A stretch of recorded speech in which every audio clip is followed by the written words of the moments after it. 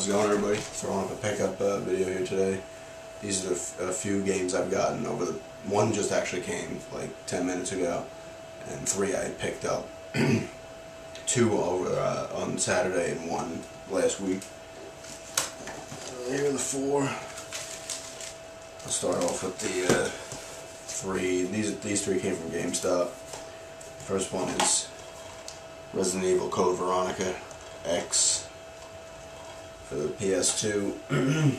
this is five and change. I was happy to find it. I was gonna just buy it offline, but I was happy to find it in a GameStop. it's the greatest hits version. It's the greatest hits case, but it's the uh, regular disc. I kind of like having a few, like I have The Simpsons as a player's choice, and I got uh, Ratchet and Clank as a greatest hit. I kind of like having a few greatest hits in the collection. It adds a little, uh, little spice, spices up the collection a little bit. That's that one. Uh, these two I got on Saturday from a different GameStop. They were six fifty for the both of them, three bucks a piece. Uh, Viewtiful Joe and Viewtiful Joe Two. now I played a demo for this one. I had like a demo disc for a GameCube. It had this on it. I think a Sonic game, Billy Hatcher and the Giant Egg or something it was called. And uh, something else on there too, maybe a Metal Arms Glitch in the System one, which is a game I got to pick up. I played that game on the Xbox. It was so awesome. But I only played the demo of this, and I always liked it, but I never bought it for whatever reason. And I saw them both in there for three bucks a piece. I'll put a gameplay up of this one. I'm playing the first level, and I, I, I played it like four times already. I can't get past the helicopter. This is a hard game, and uh, I think you have to like get past. Like you save it later in a level, it doesn't matter. You're going back to the beginning of the level when you load it up. So I have to get past that thing. I assume that's the end of the level, but it's still such a cool game. It looks great. It's a cool art style. The combats, the the fighting's really fun and stuff. It's got a real good look to it. I have not played this one yet. But yeah, I'll probably definitely put up a gameplay of this. Very happy to get these two games, actually. I, I was just like thinking about what I wanted. I was like, I really want Viewtiful Joe, and then I saw there was the second one as well. I was like, you know what, I'll grab that one too. They had them both. So, those are good ones. and the final one here is, uh, this is from eBay. This is one I'm really happy to uh, pick up. This is one I wanted to get from, uh, I don't think it's going to have the manual. I hope I'm wrong, but I don't think it's going to. This is what I wanted to get from uh, GameStop. And it only had the disc, but it was in that giant bin of discs. And they're like, oh, it's in there. I was like, yeah, I'm not searching through a thousand discs. But I found it on eBay for 736 with shipping. But it's the X-Files Resist or Serve. This is a game I've wanted for a while. Oh, look at that. It has the manual. That is a serious bonus, because I didn't know. It didn't say it in the description and I looked at some of their other listings, and uh, like some would say complete, and this one didn't say complete, so I was like, you know what, I don't care. I have the case and the disc. That's all that matters to me. You know, I, I want to get manuals if I can, but if I don't, whatever. You know, it, it doesn't make sense to get it if it doesn't have the case. I guess unless the price is really awesome, because then what's the point of putting it on the shelf? I can't put it on the shelf because it doesn't have a case, but the one that I was getting, it was only three bucks in GameStop, but like I said, I couldn't find it. And I think, I guess someone must have found it at some point because I remember looking later on on their website to see if it was still in that uh, GameStop, but it wasn't. But very happy to have this. I, I've heard it's a pretty good game, not incredible, but it's like a survival horror game, which I forgot about. I was talking about survival horror games that I wanted to get. But it has the original cast in there, which is cool. it's supposed to just be like, I think a couple of the guys from the show wrote it. Yeah, it says it right here on the back. but really, really, I need, like I said, I need to get a PS2. That's the next thing I gotta focus on. Get a PS2 and memory card because I got a lot of games I really want to play for uh, the system here. Very happy to have this though, and especially that price for 736 is good.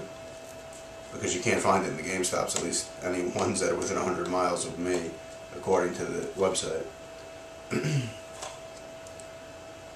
Yeah, it's, it's supposed to be creepy too. I was reading some reviews on it. You got like the sixes and the sevens, which is good enough for me. as long as the atmosphere is good and the voice acting is good, it's, it's a good story. As long as you know, I can deal with mediocre action. I've I've played survival horror games for a long time, so I'm used to uh, some shitty action. but very happy to have this. Very happy to add this one to the collection. It's cool it's got the book in there too.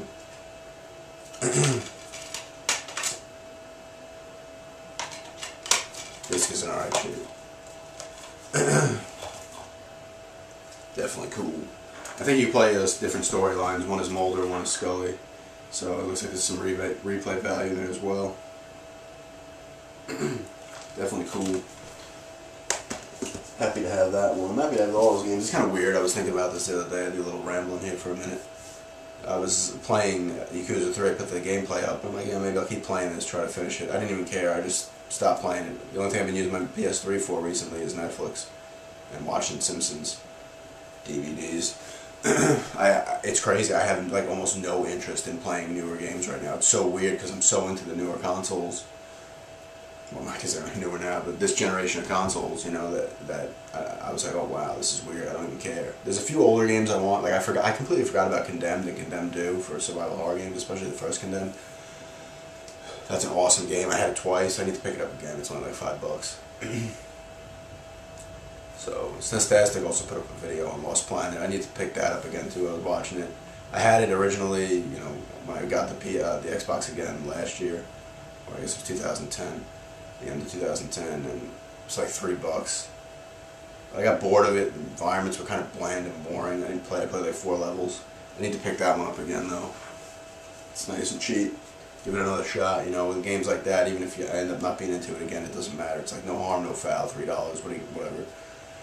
and that's what I've been doing. I've been picking up. Like, I, I've so, I'm on such a kick of getting games for last generation, PS2, Xbox, GameCube. I, that's all I'm interested in right now. It's crazy. I'm like, you know, it's like we're kind of like I don't know. It's not like stupid to say, but I'm like really like proud of the games I've picked up so far. Like I'm happy with. It. It's like the happiest I've been with any collection of games I've had since I've been putting videos on YouTube. And even before that, I did like my PS3 collection, but you know, I would have ended up selling a decent amount of those anyway. This one's great. You know, I have some I guess I don't want to say rarer, but a little more valuable titles. But a lot of these games are kind of cheap now. The ones I want, like Devil May Cry, I want to pick up. Blood Omen 2. You know, these games are like two, three bucks. I mean, you can't go wrong at this point. And I just, I have a kick. I'm playing Viewtiful Joe. I'm throwing The Simpsons hit and running there. I'm playing that. The Resident Evil's like, I'm having such a good time playing these older games. Some of which I played back then, and some of which I never got a chance to play. So I'm real happy with that. it's, it's, it's, it's kind of weird, you know. There's nothing. There's a couple games I want for the PS3, but I'm in no rush to get them. I'm just gonna let these games continue to drop in price while I pick up the older ones and have a good time playing those. I mean, I still have to. I still have two chapters. I think it's the second to last chapter on Uncharted.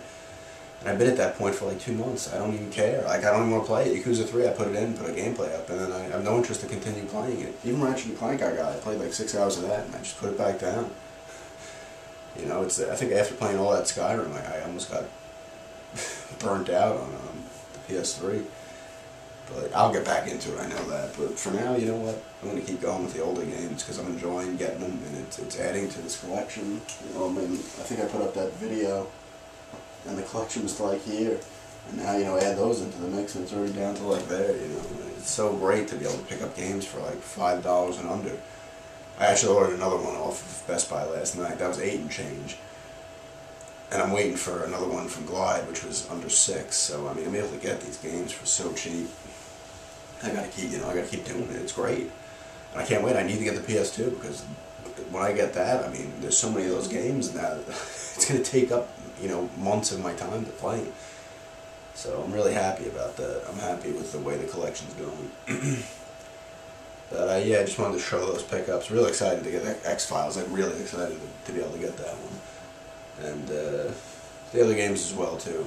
Code Veronica was a game I played on the Dreamcast and never completed. I got up to the part where Steve Burnside had mutated into the creature, but I had like no ammunition, so I, I never ended up going back to a previous save. I just ended up selling it. but uh, yeah, I just wanted to show those pickups, a little bit of rambling there as well, and uh, thanks everybody for checking it out, and have a good day.